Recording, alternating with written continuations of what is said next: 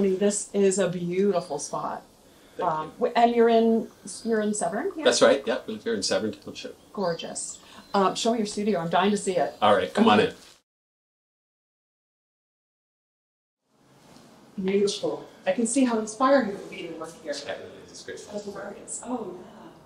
Beautiful. Oh, this is gorgeous. Tony, it's great to meet you. Nice to meet you as well. And I'm so excited with the poster that you've created for the Mariposa Folk Festival. It's beautiful. Thank you. Appreciate it. Can can we just start off by just tell me a little bit about the image that you created? I spent some time going through Mariposa photographic archives over the last number of years, and I I really wanted something that would sort of summarize the essence of what Mariposa was about. The idea of just music shared amongst people uh, in a very simple and casual way was was the the essence of what I was going for, and I wanted something that looked like Orillia. I wanted something that would appeal to multiple generations. So there's this sort of a retro vibe going on with the uh, the minibus and and folks just sitting around a campfire sharing music together. Where did the whole concept come up Ooh. with, and how did how did that concept find its way into the finished product here? Yeah. Finding an idea for a piece of art is difficult if you try too hard. The best way to do it is just sort of bumble around hmm. and look and listen and until something sort of shows up. And after you know 30 40 years as an artist, you know when an idea that's that's valuable shows up and then you just chase that idea.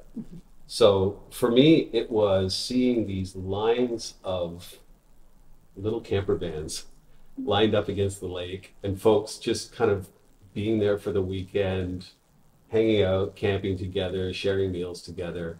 And I thought, that's what it's about. Mm-hmm. You know, whether whether you're there in a camper van or whether you're just there walking down the street to visit the folk festival, um, that's what it's really about. And so that idea is what I started to chase down. And and then it's a question of you know how do you put that together? What's the best angle? What's the best color color scheme? Um, lots of sort of technical things that you work out through various iterations and sketches, um, trying to get that idea clean and simple so that other people will also understand the idea. And that's you know that's the work of, of editing and sketching and refining. So when I look at these characters and I look at this scene, who do you imagine those people to be? Well, it's interesting because um, I actually was thinking about my own family as I was sort of designing the people. Sitting around a campfire, I have a new granddaughter. I have children that play music, and I, I I'm a guitar player myself. You know, I I didn't want them to look exactly like my family, but uh, just sort of generic, younger, older folks meeting together, sharing music around a campfire.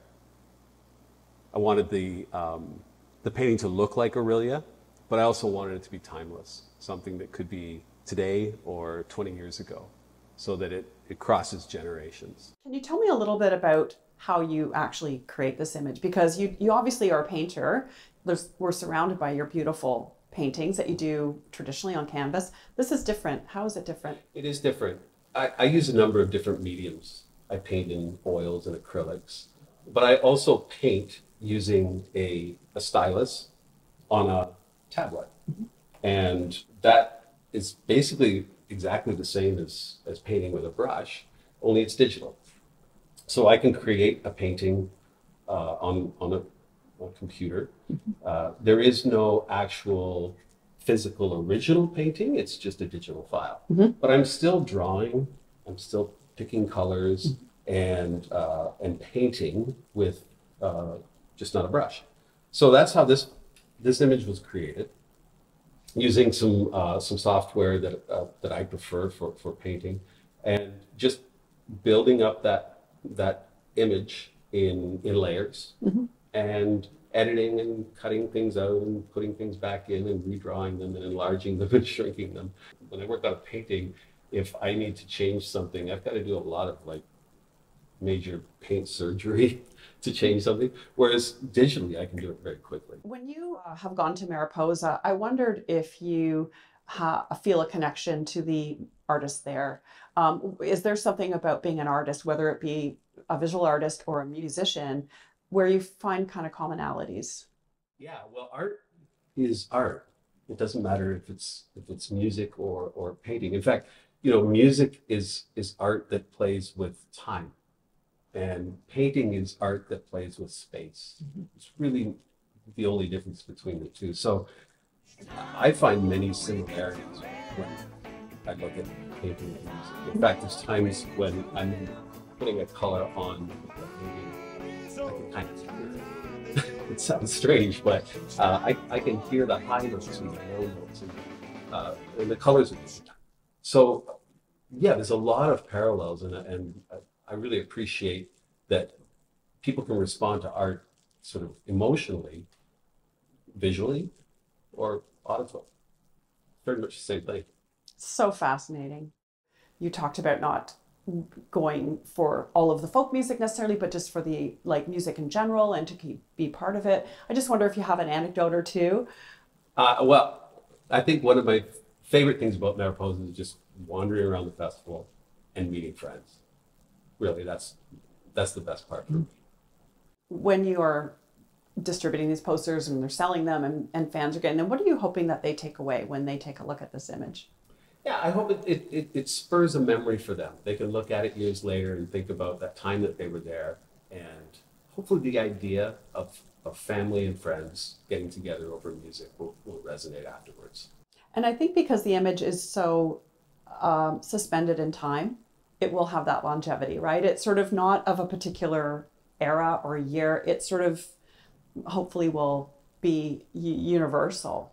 That was the idea. It was sort of, you know, transcend time, transcend generations, mm-hmm. even something that older folks can understand and younger folks can understand as well.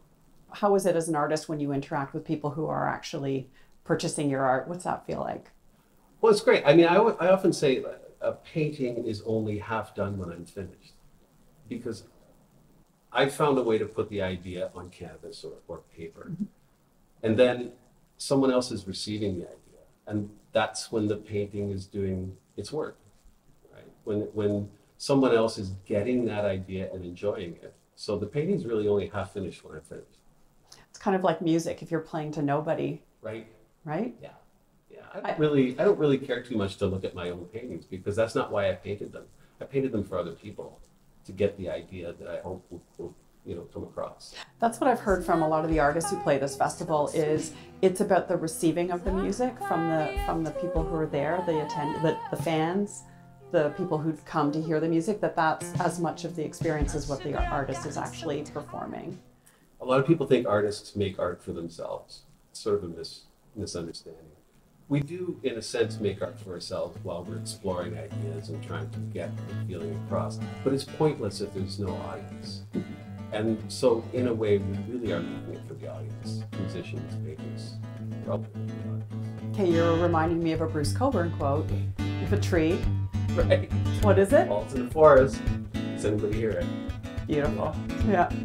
Thank you so much, Tony. This has been a, such a pleasure.